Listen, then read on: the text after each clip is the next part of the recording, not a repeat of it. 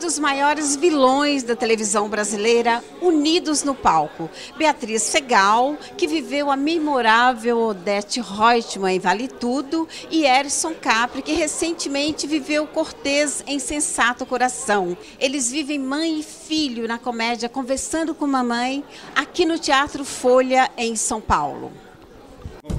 Será que esse é o momento? É, é, é, que que eu, eu, eu estou saindo eu, eu, eu tenho um namorado. O que é que isso tem a ver com a. Como um namorado? É. Você tem um namorado? Hum.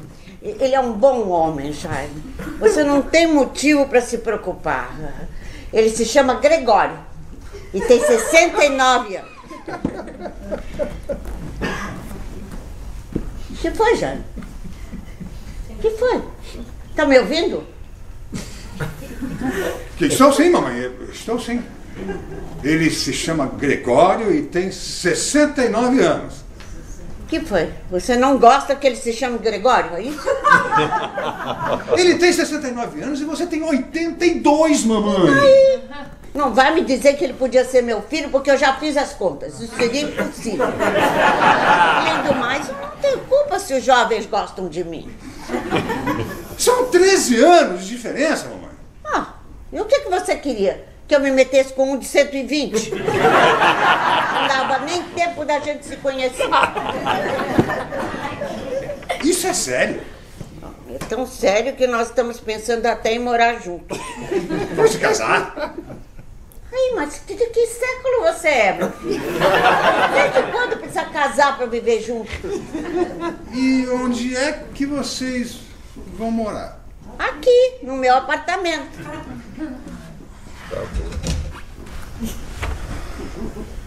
Você está pensando em quê, meu? Jaime, está pensando em quê? Na cara da Laura quando ela ouvir isso. Não, vai perguntar o que é que eu estou pensando? Jaime, não vai perguntar o que é que eu estou pensando? Sim, claro, mamãe. No que é que você está pensando? Na cara que a tua sogra vai fazer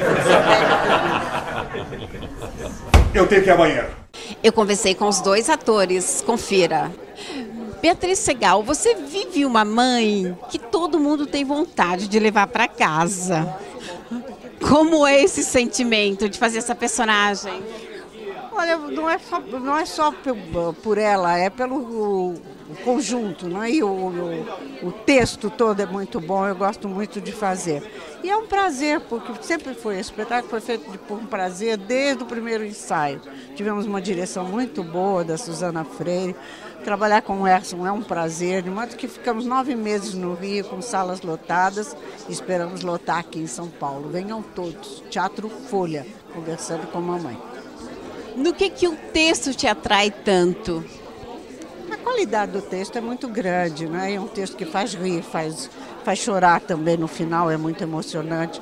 E é muito, foi muito gostoso fazer o espetáculo, eu gosto muito. Erson Capri, é, eu quero que você me fale do texto para quem não assistiu e como você avalia esse seu personagem. O texto fala da relação de uma mãe e um filho, ah, o filho já tem 56, 57 anos, e esse filho acaba descobrindo, agora já tarde, uma mãe que ele não conhecia, uma mãe especial, uma mãe com valores bacanas, uma mãe que tem é, é, como valor principal o afeto, o carinho, o olhar para o outro, o acolhimento. E esse filho começa a se surpreender com essa mãe, ele começa a ver que ele, tem, ele tinha uma mãe muito especial e não sabia. E nós fizemos a peça sem nenhuma intenção de fazer comédia, de fazer piada, e o resultado foi isso que se viu. Nós, nós fizemos com muita verdade, com muita emoção, com muito carinho pelo espetáculo, mas fizemos um para o outro, para o público ver essa relação. O que aconteceu foi isso que você viu, o público ri muito e se emociona bastante no final. Realmente o texto é maravilhoso. Agora, como é ser dirigido pela esposa Suzana? É uma delícia. A gente discute em casa, a gente discute no carro, discute no sentido de conversar e aprimorar a cena. E, e a gente tenta melhorar. Ela me ajudou no cortejo também um pouco. E eu acho gostoso. Isso é mais um assunto que a gente tem entre tantos assuntos que a gente tem para conversar. A gente não para de falar e de namorar, naturalmente. Que lindo. Agora, por falar em Cortez, muita adrenalina para fazer a cena final do Cortez? A cena da prisão, quer dizer? Foi, muita adrenalina, dois helicópteros na minha cabeça, eu com medo de que um deles caísse em mim, eh, um tiroteio danado, apesar de ser festim, a gente sempre fica com medo daquela barulheira, vai que um não é festim. Foi muita adrenalina, foi muito cansativo, mas em compensação o resultado foi esse que todo mundo fala até hoje, né? Naquela cena, todo mundo comenta aquela cena. Foi um excelente resultado. A gente terminou a cena, todo mundo cansado, mas com uma sensação de dever cumprido. Agora você vem como outro milionário na próxima novela do Miguel Falabella, é isso? Isso, o milionário, dono de uma grande loja, uma grande loja, mega loja de moda e tem outros negócios também. Ele tem até alguns telhados de vidro, mas no decorrer da novela ele vai perceber isso. Desculpe. E, e, é um personagem ótimo, tô adorando, tô adorando já, tô, tô decorando, tô estudando ele. Eu começo a gravar semana que vem. Tá mais para mocinho do que vilão? Totalmente mocinho, nada de vilão. Faça um convite ao nosso público. Claro. Conversando com mamãe no Teatro Folha de sexta a domingo. Sexta às 21h30, sábado às 20h22 e domingo às 19h30. Eu e Beatriz Segal, não perca. Obrigada, viu, Carlos? Um grande boa sorte. Suzana Garcia é diretora do espetáculo. Quero saber como é dirigir o seu marido.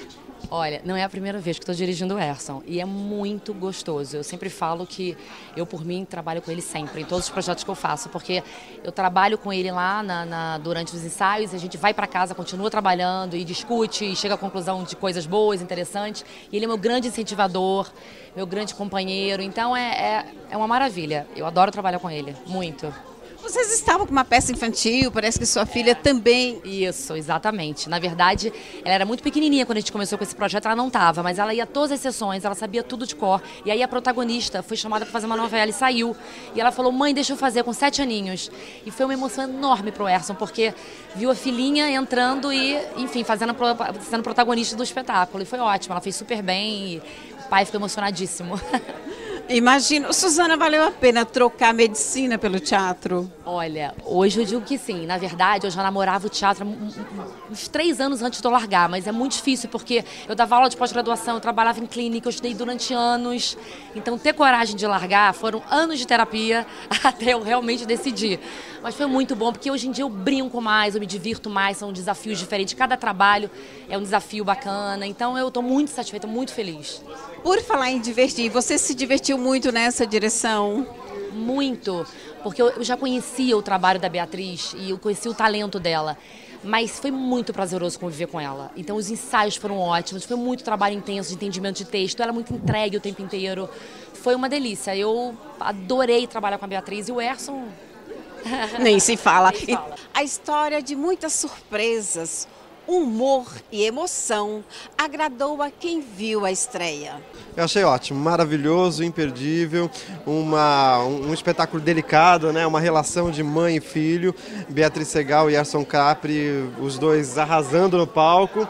Vale muito a pena o espetáculo, né? Ele é divertido, ele é emocionante, ele, ele traz surpresas, eu acho muito bacana, muito bom. Eu achei o espetáculo muito emocionante, muito delicado, o texto é muito bom. É, eles estão ótimos, a Beatriz vê a Beatriz em cena, é sempre um grande prazer, o Erson também, é, é delicado, é profundo e ao mesmo tempo é super bem humorado. É um espetáculo realmente bem tocante, assim, muito prazer de ver.